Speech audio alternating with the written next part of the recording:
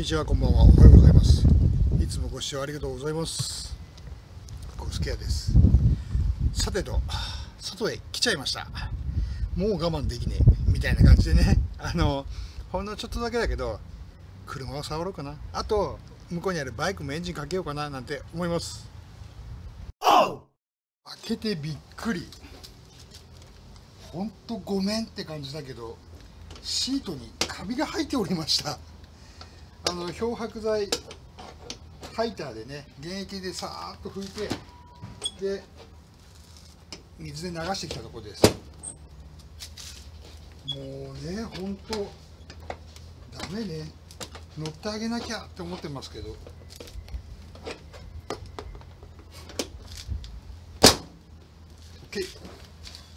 さあエンジンはかかるのでしょうか？そもそもが。そこだよね。あれ？単車のキーがね。あれ？単車のキーがない。あった。さてバッテリーはね多分大丈夫だと思うんだ。でキーはよいしょ。こっちでオンだったから。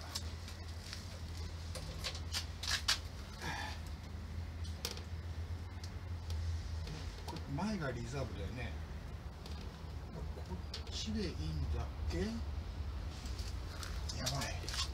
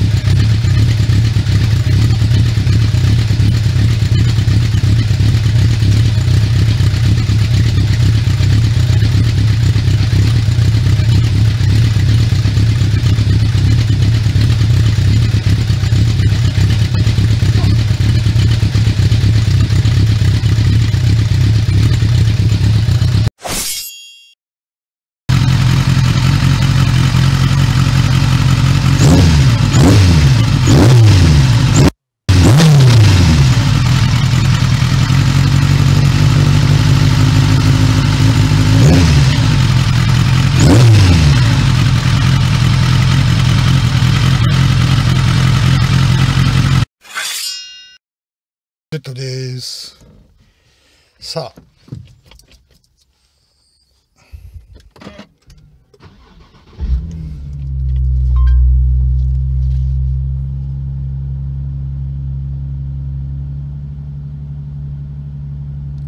いいね。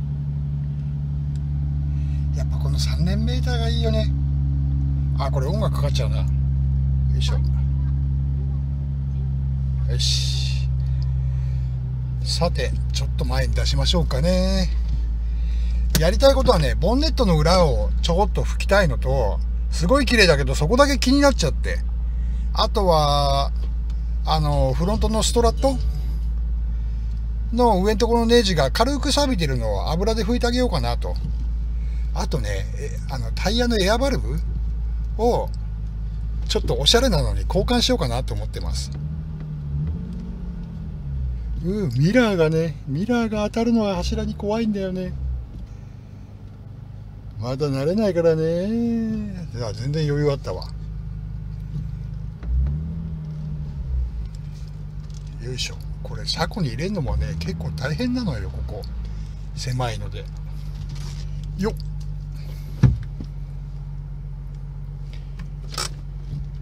バッテリーは？13お上がった。14なんで？ぐんと上がったね今。どういうことなんだろう？まあまだまだね。まだまだ乗り始めたばかりなので何が何やらという感じです。マキシマムザホルモンです。はい。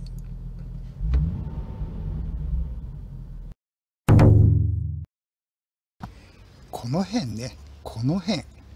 ちょっとそりゃさすがにね新車じゃないからね。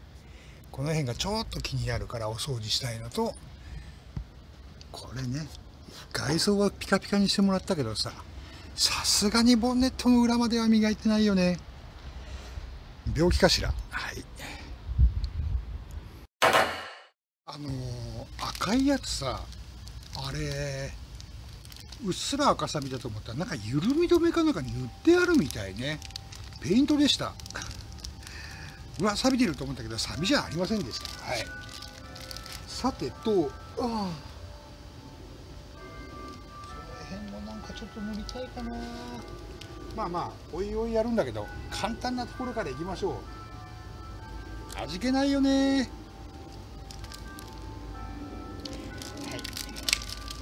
小さいけど満足感あるよね。まあね交換はこれだけの形なんだけど。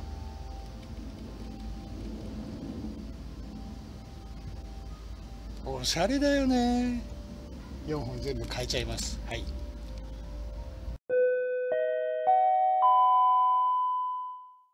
こんなアングルです。多分これか三脚に乗せてるだけだから。あの多分走ったら転がっちゃうと思うんだけどこのドア開けるのがここについてんだけど 30Z ってここにあったんだよね。だから乗ったはいいけどどうやって降りんのって探す人が多かった記憶があります。さあその辺ちょこっとだけねせっかく出したからさ車カバー取ってちょっとだけ動かそうかなと思ってます。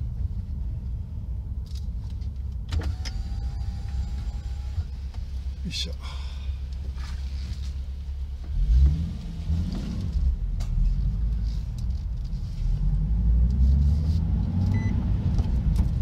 あいけねえシートベルトしてないじゃない。ピーピー言ってる。許して YouTube 動画出たけど。違反とか騒がないで。よいしょ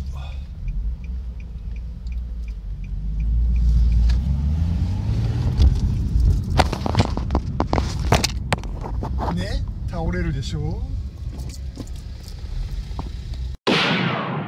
はい戻ってまいりました。蚊に食われた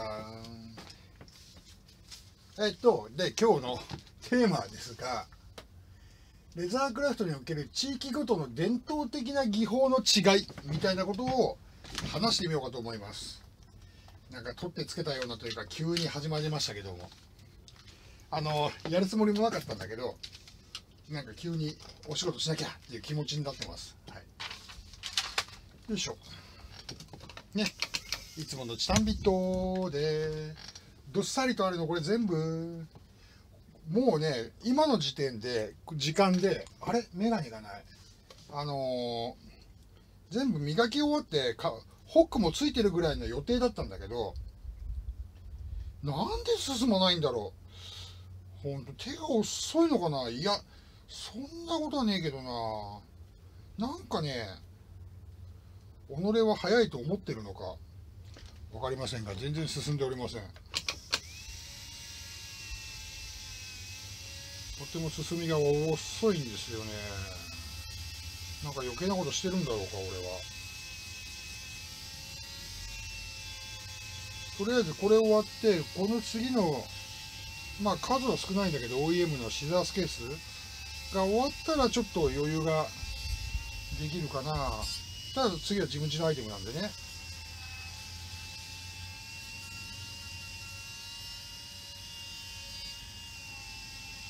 うん、でそうだね。えっとレザークラフトにおける地域ごとの伝統的な技法の違い。うん。これはね俺の知る限りではミシンが違う。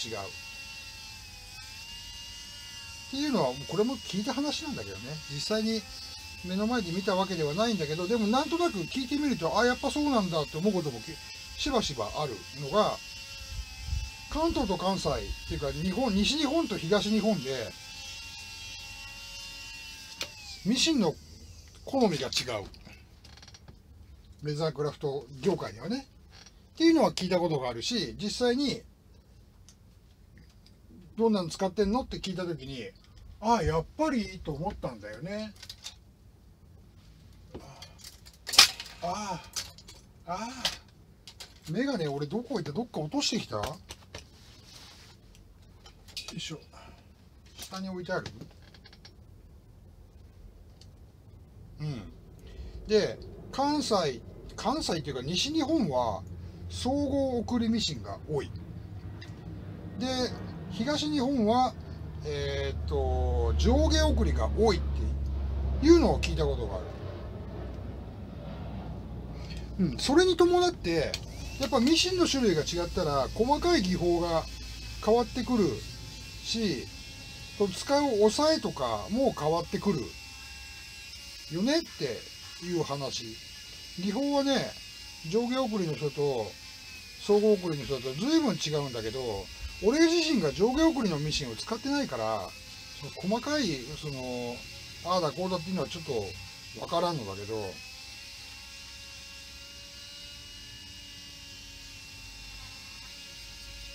です。終わっちゃったね話が。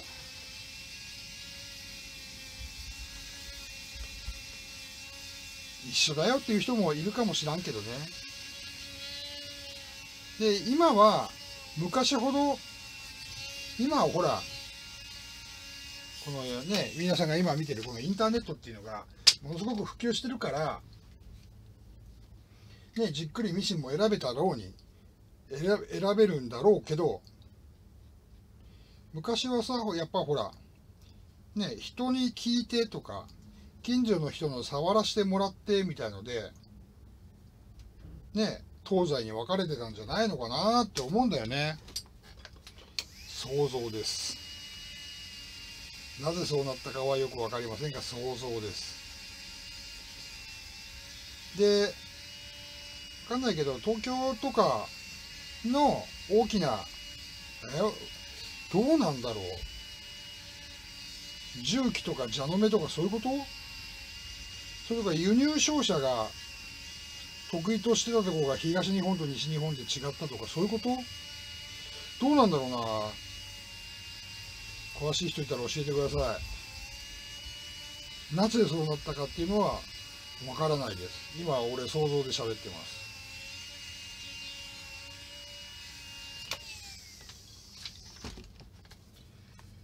いやこれ終わんねえだろ。うあまあまああとあと1時間半ぐらいある。1時間ぐらいか。1時間やりゃなんとかなんとか形にはなるかな。っていうか遅い。遊んでる暇なかった。本当にちょっと後悔してる。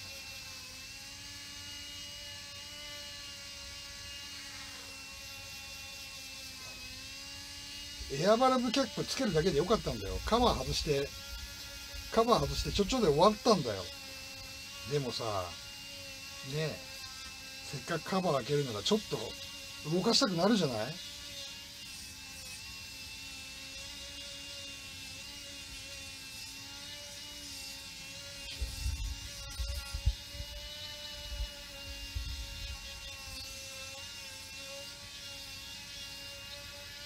この動画を今撮ってるけど今の時点でまだブログではあと動画でもあの納車は公開してないのよ。だからねどんな反応が来るのかとても楽しみですけどまあまあもう今の時点ででもねもう Z を買ったことはもう知れ渡ってるのでただね画像とか動画を出してないってだけなんだけど。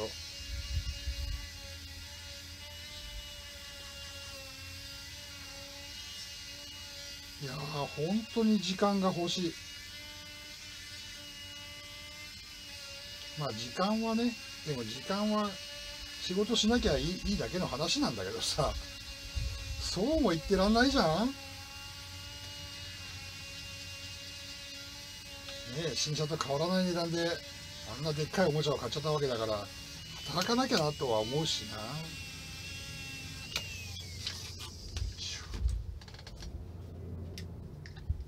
っていう感じです今日の動画は。